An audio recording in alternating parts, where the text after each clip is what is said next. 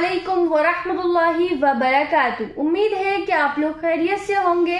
आज हम लोग जानेंगे शुक्राने की नमाज़ पढ़ने का सही तरीका क्या है। शुक्र का सजदा कैसे करें? शुक्राने की नमाज़ हम कब कब नहीं पढ़ सकते हैं? तो आइए जानते हैं मुफ्ती ए एम कासमी साहब से।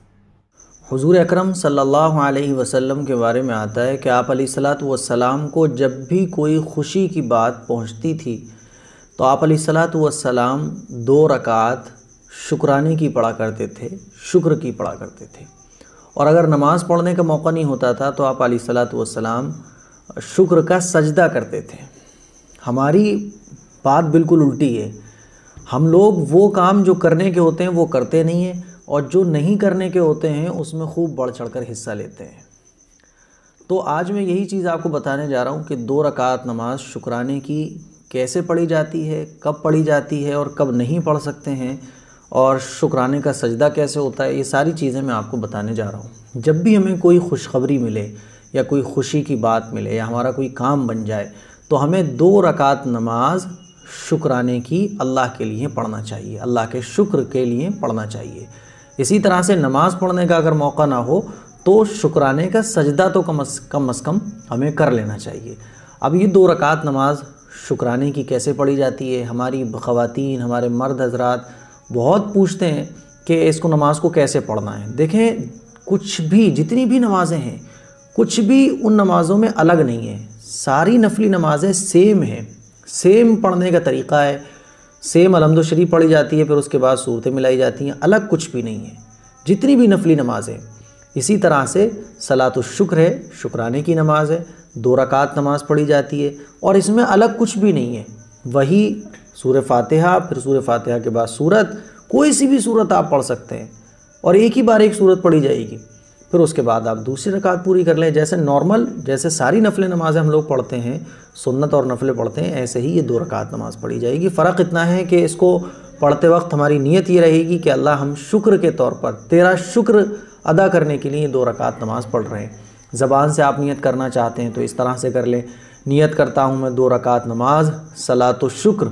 नियत करता हूँ मैं दो रकात नमाज़, शुक्राने की, वास्ते अल्लाह ताला के मुँह मेरा काब शरीफ की तरफ़, अल्लाह अब हमारे प्यारे मुसलमान भाई और बहनें, इसमें परेशान हो जाते हैं कि नीयत में नफ़ल कहना है या सुन्नत कहना है या नहीं कहना है तो कोई ज़रूरत नहीं है। बस आप इतना कह लें कि नीयत करता हूँ मैं दो रकात नमाज़, शुक्राने की, वास्ते अल्लाह ताला के मुँह मेरा काब शरीफ की तरफ़, बस हो गई नीयत। फिर अल्लाह अकबर कहकर आप, जैसे और नमाज़ें पढ़ी जाती हैं, और नफल और सुन्नत आप पढ़ते हैं, इसी तरह से शुक्राने की नमाज़ भी पढ़ी जाएगी। अलहमद शरीफ पढ़ी जाएगी, कोई भी सूरत आप मिलाएँ और दो रकात नमाज़ कंप्लीट कर लें।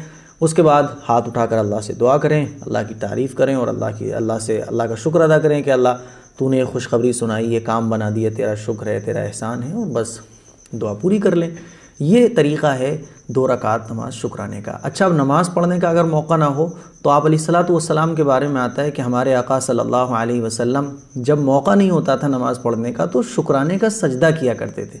जैसे आपने क्रिकेटर्स को देखा होगा, वो पिच पर सजदा करते हैं तो शुक्राने का सजदा भी किया जा सकता है।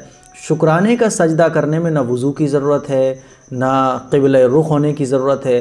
बस आप जहाँ हैं, वहीं सजदे में चले जाएँ। नमाज़ के अंदर सजदा सही होने के लिए कबिल रुख होना ज़रूरी है। शुक्राने के सजदे में वज़ू नहीं है, तब भी आप शुक्राने का सजदा कर सकते हैं। और कबिल रुख नहीं भी पता, तब भी आप शुक्राने का सजदा कर सकते हैं। तो शुक्राने के सजदे में कोई, बस आप शुक्राने का सजदा कर लें। तो आप सलाम अगर नमाज़ नहीं पढ़ते थे तो शुक्राने का सजदा किया करते थे तो ये भी सुन्नत है।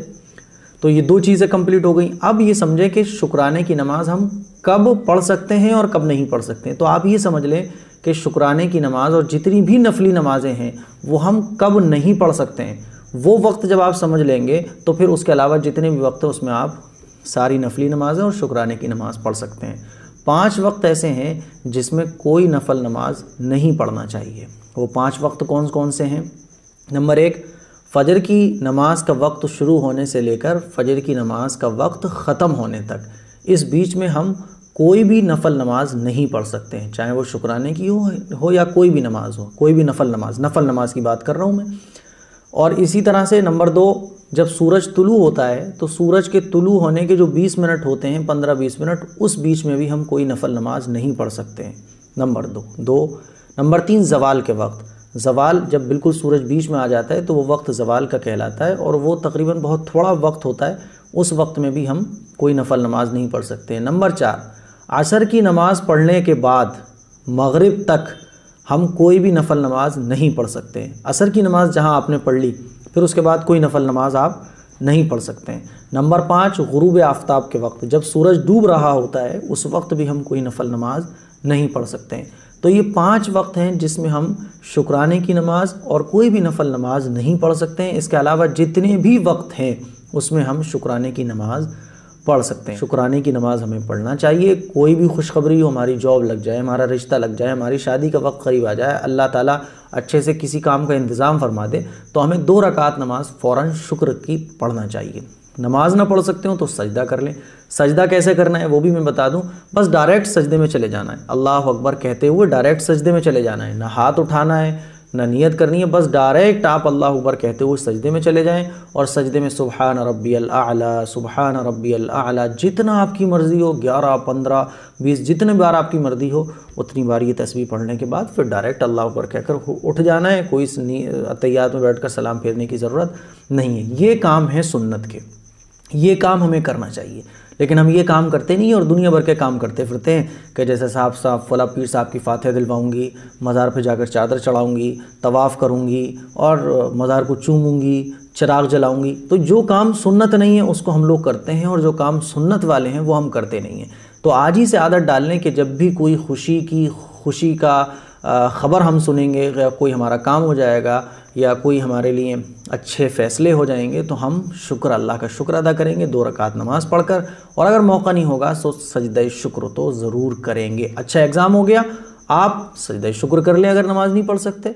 नमाज़ पढ़ने का मौका हो तो आप नमाज़ पढ़ लें। माशाल्लाह, मुफ्ती साहब ने बहुत अच्छे से बताया शुक्राने की नमाज़ पढ़ने का तरीका, शुक्राने की नमाज़ कब कब नहीं पढ़ सकते हैं। और याद रखें, जब भी कोई खुशी की बात हो, कोई खुशखबरी मिले तो हमें शुक्राने की नमाज़ ज़रूर अदा करना चाहिए। अगर शुक्राने की नमाज़ नहीं पढ़ सकते तो शुक्र का सजदा तो ज़रूर करना चाहिए। इस क्लिप को शेयर करिएगा। असलकम वरहमल वर्का